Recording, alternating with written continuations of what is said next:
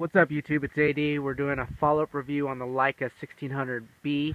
My good friend, the dentist, is uh, rocking and rolling. He's uh, spotting. What are you spotting there, there, dentist? Cows, How far?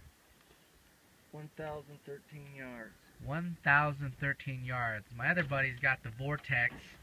That's supposedly uh, supposed to reach non-reflective or reflective targets to 1,000. We can't get past 400.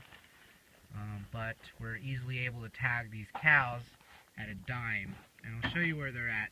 Uh, there's the ridge line, or the top of whatever, and there's those trees right there. There's uh, cows probably 10 to 15 yards below that tree, the trees right there on the skyline. And he's able to tag him at about a thousand. So that's pretty cool.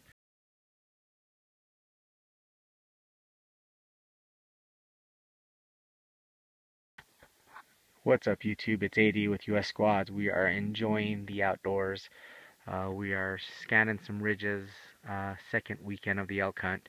Half our group has filled their tags. We still have two tags to fill, including mine.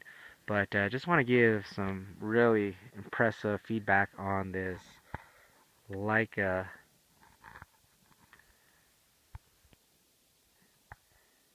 this Leica Rangemaster B.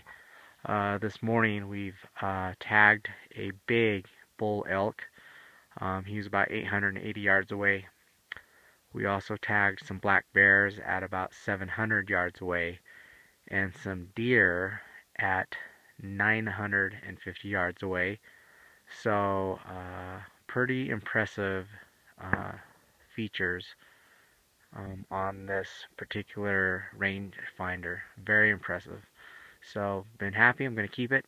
Um, had some buyer's remorse in the beginning, but now I think it's good.